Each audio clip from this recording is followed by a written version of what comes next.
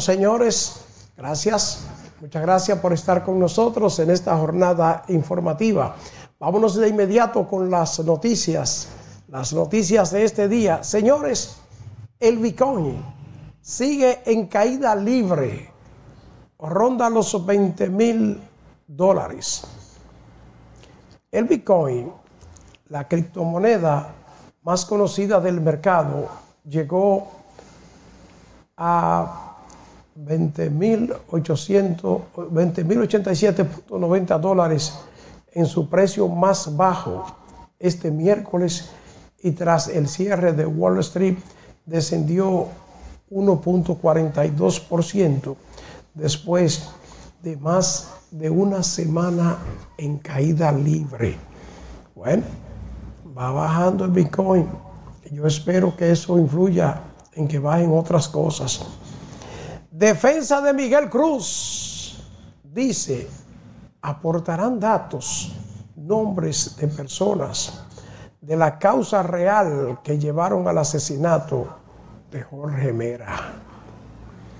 La defensa de Fausto Miguel de Jesús Cruz de la Mota, confeso asesino del ministro de Medio Ambiente y Recursos Naturales Orlando Jorge Mera, en su reclamo de entrevista a los medios de comunicación, alegó que aportarán datos probatorios con nombres de personas que, especifiquen la causa real que condujo a su cliente a tan lamentable suceso. Reserva Federal de Estados Unidos sube los tipos de interés en 0.75 puntos. Ay, ay, ay. Sigue hacia arriba. Esto no está nada fácil. El confeso asesino de Orlando Jorge Mera pide hablar con la prensa para dar su versión de los, de los hechos. En interés de que el país conozca todo lo sucedido en torno al asesinato del ministro de Medio Ambiente, Orlando Jorge Mera, el confeso autor requirió a la Fiscalía del Distrito Nacional que se le permita una entrevista con diferentes medios de comunicación para dar su versión de los hechos. Yo creo que sí, que se le debe permitir. Salud Pública creará un comité para agilizar operaciones de medicamentos de alto costo. El ministro de Salud Pública, Daniel Rivera, informó que la Dirección de Acceso a Medicamentos de Alto Costo contará con ese comité.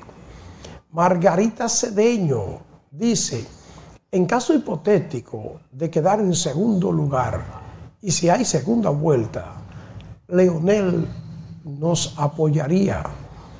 La ex vicepresidenta de la República y aspirante a la candidatura presidencial por el PLD, Margarita Cedeño, habló en un programa de televisión sobre el posible apoyo de su ex esposo, Leonel Fernández, en las elecciones del 2024 y los consejos políticos de Gonzalo Castillo, ex candidato presidencial del Partido Morado.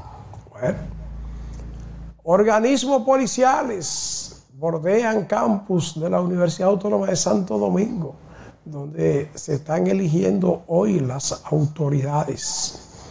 Biden urge a las grandes petroleras a aumentar la producción y bajar precios. El presidente de los Estados Unidos de América, Joe Biden, urgió a las grandes petroleras del país a tomar acciones inmediatas para aumentar la producción y bajar los precios en un momento en que el precio de la gasolina está en su precio más grande, más alto en toda la historia en Estados Unidos. Eso está por verse. Vamos a ver si le hacen caso. Señores, en República Dominicana predomina el Omicron BA1 y BA2. El Ministerio de Salud y Asistencia Social, pues detalló en este día las cepas que más están circulando de coronavirus en el país. Dice el Ministerio de Salud que 737 casos nuevos de COVID y estos son casos que se encuentran después de procesar 7.598 muestras de acuerdo al boletín que dieron a conocer en esta fecha. Aspirantes a rectoría de la UAS afirman que acogerán resultados. Señores, entiendo que la acusación presentada en otra información, dice el juez Juan Rodríguez Consoró, que entiende que la acusación presentada por el Ministerio Público en cuanto a la forma, junto al contenido de la norma en cuanto al fondo, este juzgador la rechaza y dicta un auto de no al lugar a favor de todos los imputados en el caso de los tres brazos. Bueno, burocracia estatal no puede seguir creciendo, dice el director de la mancomunidad del Gran Santo Domingo. El director de la mancomunidad del Gran Santo Domingo, Waldis Tavera, mostró, se mostró en contra del proyecto de ley que propone la división de la ciudad capital para crear una nueva provincia. Señores, es que se ven cosas, ¿verdad? Otra provincia más. ¿Y a dónde es? Que vamos a llegar con todo esto de todas estas provincias que se están por crear. Ahora, en vez de, de la provincia de Santo Domingo, una provincia provincia de Santo Domingo y otra provincia que se llamaría la provincia Ramón Matías Mella o Matías Ramón Mella. Eso es lo que están proponiendo los diputados que ya aprobaron eso corriendo en dos lecturas consecutivas y le pasaron esto al Senado de la República para que el Senado también haga lo mismo y apruebe esa eh, provincia que estaría integrada por Santo Domingo Este, digo Santo Domingo Oeste y Santo, y Santo Domingo Norte, entre otras zonas. Esperemos a ver qué va a suceder. Eso es parte del plan político siempre que tienen los políticos que quieren, que quieren, quieren más y más y más. Pero esperemos a ver. Señores, el Ministerio de Agricultura anuncia veda para eliminación de cultivos hospederos de la mosca blanca. Ojalá que esto no contribuya a que haya escasez de algunos frutos. Ladrones entraron al apartamento de Sergio Carlos en Atlanta y le roban documentos y joya. El comunicador Sergio Carlos, quien reside en Atlanta, Estados Unidos, denunció que perpetraron en su apartamento y se robaron documentos, joyas y las llaves de su vehículo.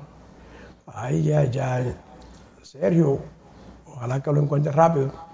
La ADP espera que aumento salarial proclamado por el MINER se refleje este mes, que lo cobren los maestros. Contrataciones, ponen la lupa en Pinta tu barrio ay, nene, pintate tu casa y el barrio entero. China dice, frenan reapertura de Pekín por rebrotes del COVID. Plan permitirá inventariar los recursos hídricos.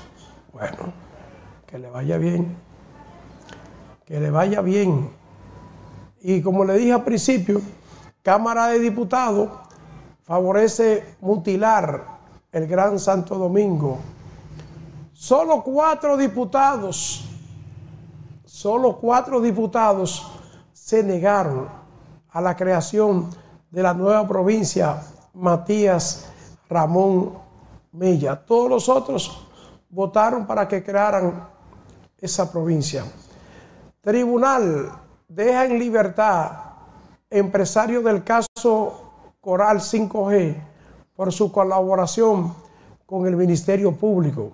La Procuraduría Especializada de Persecución de la Corrupción Administrativa, PECA, recuperó 18.4 millones de pesos mediante un acuerdo que arribó con el empresario César Félix Ramos Ovalle, implicado en el caso Coral 5G. Ahí está, devolvió, devolvió esos chelitos, 18 milloncitos. Alexis Victoria Y renuncia al barrilito y lo pasa a un patronato para su administración. Bueno, ahí está. Victoria Y no necesita su chelito del barrilito. Gracias, señores, por estar con nosotros. Gracias a todos los que dicen presente en esta entrega del Puerto TV en política. Gracias a la gente que siempre está con nosotros. Gracias a Raiza Aquino, que siempre dice, aquí sí. Gracias a Luis Alejandro Pagán Tavares. Gracias a Domingo de la Cruz, allá en Canadá. Domingo, qué bueno que está con nosotros, como siempre, ahí fijo. Gracias a Isabel, a Josefina Matos, a Nati García. Gracias, muchas gracias a Rosa Enríquez. Señores, muchas cosas pasando. Sí, efectivamente algunos se han preguntado que qué pasó, que esta mañana no hubo programa. Sí, no hubo programa, porque aquí hubo un apagón kilométrico, la luz se fue ayer y llegó hoy. ¿Qué país? ¿Qué país?